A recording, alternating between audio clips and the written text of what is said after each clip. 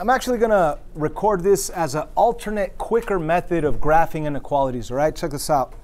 Um, if it's in y equals mx plus b, it's ready to go.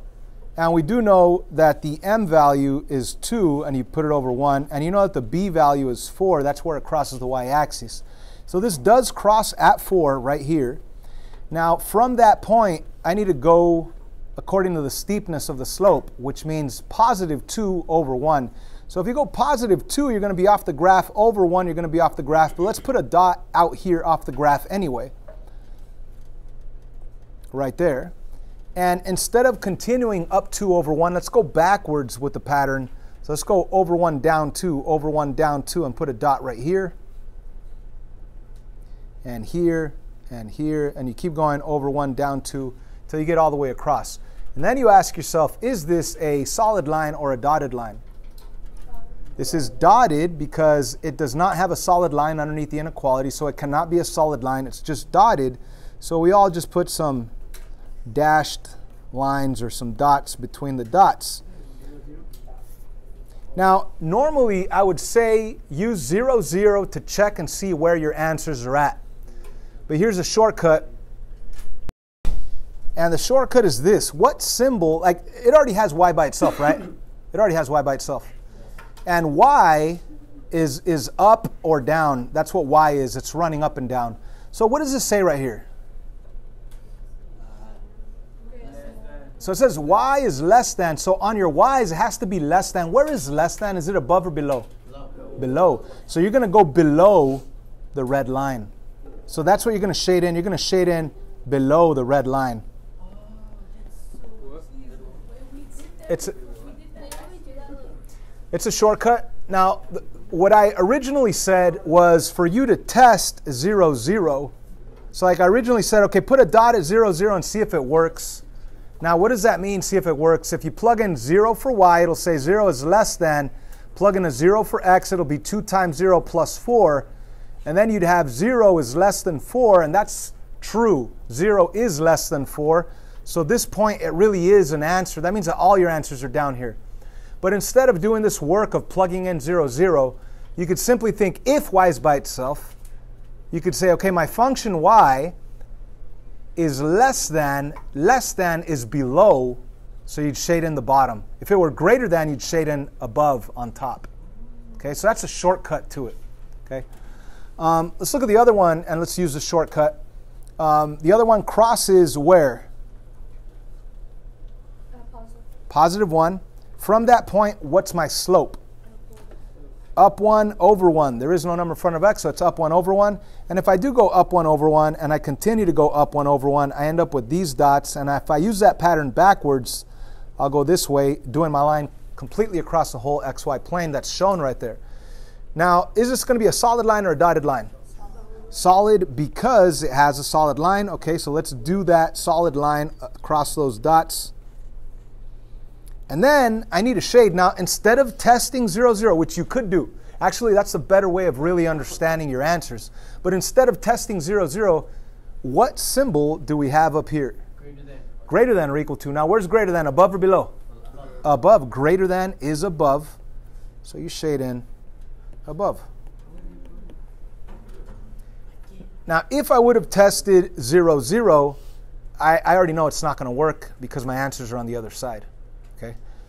So let's. Uh, do we understand that shortcut? If you don't, if you don't, you could continue plugging in zero zero. Okay. So the question is, does this shortcut always work? I think it does. Actually, it does. But you need to know how to read your. You need to know how to read your inequality.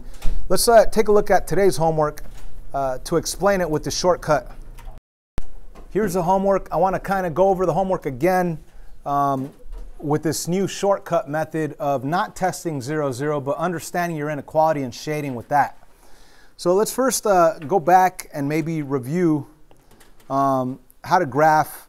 Like we already know how to graph when you have y equals mx plus b, but what if you had something like x equals 3? How do you graph that? In case you forgot, you simply go to the x-axis and you go to the value of 3 and you put a dot right there and then you draw a vertical line right through that dot and that's that's how to graph x equals 3 okay Now, if you're thinking, why is that? Well, if you think what this equation says is that your x values have to be 3.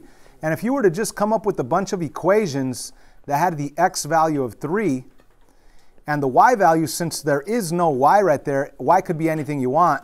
So it really could be like a 0, negative 1, positive 2. And if you did go to the coordinate uh, 3, 0, that would be a dot right there. If you went to the coordinate 3, 2 would be a dot up here. If you went to the coordinate 3, negative 1, it'd be a dot right here. So it really does give you that vertical line. So x equals any number will be a vertical line crossing through the x-axis at that value. Are you with me? Yes. So if I said graph x equals negative 2, what's a, what kind of line is that going to be? Vertical. Vertical, where at? At negative 2 on the x. So it's going to be a, a, line going up and down right through that value of x equals negative 2.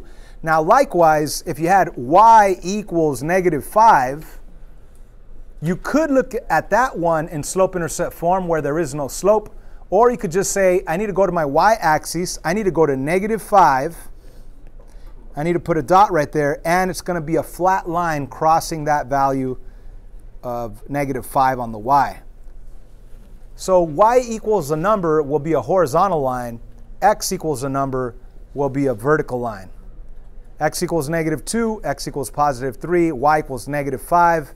If somebody told me graph uh, y equals uh, 3, then I would go to positive 3 on the y, and I would graph the flat line going right through it. Are you with me? Okay, so that was like a little review. Um, Let's go back to the homework over here. And number one, x is greater than negative 1. I want to draw a vertical line through the x-axis at the value what? Negative 1. So I put a dot right there at negative 1. I want to draw a vertical line. Now, it'd be a good idea to use different colored pens. If you look at this equation, x is greater than negative 1, is it going to be a solid line or a dotted line? Dotted. dotted. So I want to put a dotted line running through vertically the x value of negative 1. Is everybody with me? Okay, now I also need to shade either the left side or the right side of this line. Now, the shortcut I just mentioned a couple of minutes ago, it was either above the line or below the line because we were looking at it from the y perspective. The y is up and down, but the x is left and right. Is it not? Yes. Okay. So since the x is left and right, let's think about this inequality. What does it say right there? Uh, greater, than. greater than. Now, where, where are the greater values of x? On the right side of that blue line. So the shortcut still applies right here. You're just going to have to shade in the right side of that blue dotted line. Now, you don't have to do the shortcut. You could go back and do what we did before, testing the point zero, zero. So, like I said, if you test the point, let's say you tested this point zero, zero. Let me do it in a pencil instead of highlighter. Test the point zero, zero. That means plug in a 0 for x and a 0 for y. I already know it works because I shaded in that side. But if you plug in a 0 for x, it's going to say 0. A 0 for y, there is no y. It's going to say 0 is greater than negative 1. And we know that 0 is greater than negative 1. That's why this point does work. That's why you shade in everything on this side. But the shortcut is to just understand the inequality. Greater than is to the right. Less than is to the left. So this says greater than, so you shade in the right. What do you guys think of the shortcut? Awesome. Okay, now let's combine it with solving the system of inequality on this homework, let's do the other one, the other equation in red. Now this other equation is also ready to graph. Is it going to be a vertical line? Yes. No. No, it's going to be a horizontal line. It's y and a number. y equals y is less than or equal to negative 3. So you go to the negative 3 on the y, negative 1, negative 2, negative 3. So you got to kind of ignore what you already did and put a dot at y and negative 3, and it's going to be a flat line right through it. But before you draw the line, is it going to be a solid line or a dotted line? Solid. Solid. So you do that solid line right there. Right. And now you need to either shade in above the red line or below the red line. Now think about that. Above would mean greater, below would mean less, correct? Yes. So the shortcut, what is this symbol saying? Less than or Less than, so you're going to shade in below. below. So we're going to shade in the bottom part of this red line. Now, here is the fun part. Because the only thing that truly matters is this piece right here the overlap piece. Okay? So, on solving systems of inequalities, the only thing that matters is your overlap piece. Now, let me ask you this Is there anything that's red and blue right here? No. No. Is there anything that's red and blue down here? No. No, not right here. It's just red. Anything that's red and blue over here? No, it's just blue. Anything that's red and blue down here, you're right. So right here is the overlap. So right here is where you have to actually really shade in Like even more? even more that rectangle. You see the the the overlap piece is the answer. Nothing else matters. If you flip your paper over, you will see that they don't even show the other parts. They just show this rectangle down here. The overlap piece is the answer. So it's really easy, guys. Check it out. Let's do. Uh, let's jump to number three, and let's use a shortcut instead of testing zero zero. Um, so on number three, it crosses at three, and then it goes up one over one. So it crosses at one, two, three, right here, and then it goes up one over one, up one over one, and we're going to use that pattern backwards, Alan, this way, all the way down till we get across the whole thing. And then we ask ourselves, is this a solid line or a dotted line? Dotted. Dotted.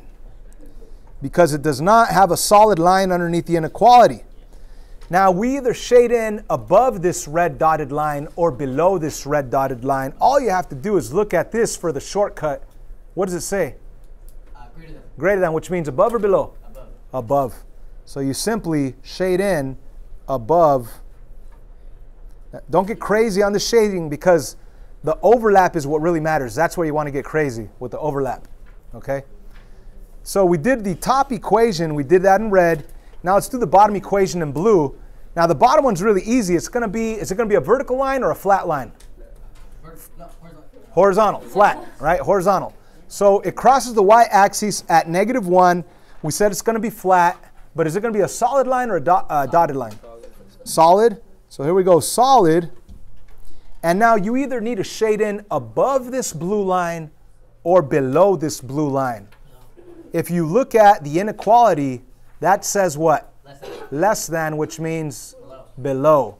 So we're going to shade in below the blue line.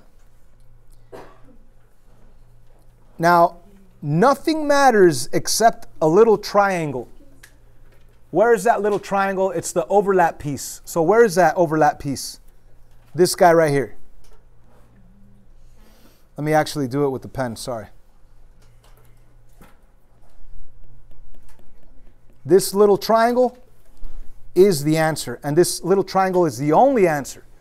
You don't even need any of this other stuff over here. You just need this triangle that has a solid edge on this side and a dotted edge on this side and really shaded in right here. That's your answer. You guys got it? Okay, so the shortcut comes in handy. You don't have to do the extra math of testing the point zero zero. Um, let's let's do one more, then then we'll Um, can we circle the overlap piece? Just like circle it? circle it. Sure. Um, that's why I say do lightly shade, and then on the overlap you could do a dark shade. Um, so on the top equation, let's go in red. Top equation crosses at two. From that point, my slope is what? Negative one over one. Negative one over one. Down one over one. Down one over one. Use that pattern backwards to get it to the other side. And is it going to be a solid line or dotted? Solid. solid. So you do a solid line going right through those points. And then do we shade in the bottom? You could test 0, 0 if you want, but that's kind of a waste of time. You could do the bottom or you could do the top. Look at your symbol for the shortcut. What does it say? Greater than. What does greater than mean? Above. Above. Less than's below, greater than's above. So you're going to shade in above. So you're going to do, I'm doing this light shade with my highlighter on this app. You guys should do a light shade with your pencil. And then you ignore what you just did and you graph the other one, hopefully in a different color if you have a different color. Um, so this other one crosses at negative 2. And from that point, I go up 2 over 1, up 2 over 1, up 2 over 1, and this is going to be a dotted line. And if I go backwards with that pattern, I'll get to this point. So let me just draw some dots between the dots. And now I either shade in the upper part or the lower part. Shortcut, look at your inequality. What does it say? The lower part, it's less than. So less than is below that blue line. So I'm going to shade in below.